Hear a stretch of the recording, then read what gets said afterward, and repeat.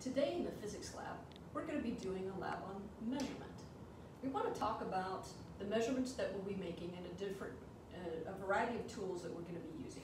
In physics and in studying motion, we use three different tools for all of mechanics. We're going to be measuring measurements of length with a meter stick.